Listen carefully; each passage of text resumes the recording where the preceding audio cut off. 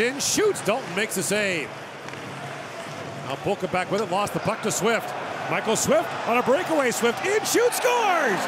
Michael Swift puts Korea on the board. Their first ever goal at the top level of the World Hockey Championship. And now the sign of the goal, Martin Carstens works in and shoots, is blocked there by Dalton.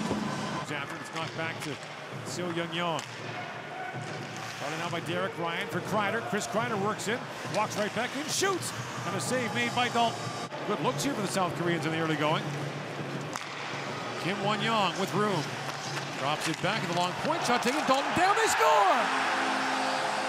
Brock Radunske, power play goal. Looked like he had the last touch.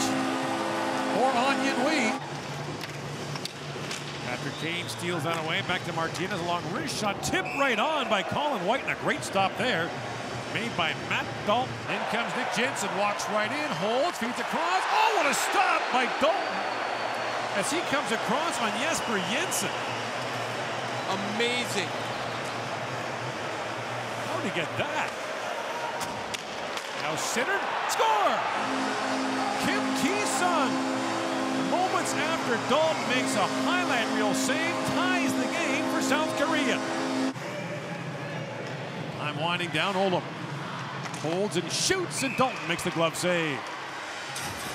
Norway chips it ahead to Roast. Roast walks in, shoots. Dalton save. Rebound cleared away. Long shot by Von Saxon. Dalton save on that. Roast with a chance at the horn. And this game will go to the third period with Norway leading South Korea one to nothing on this Monday at the World Hockey Championship.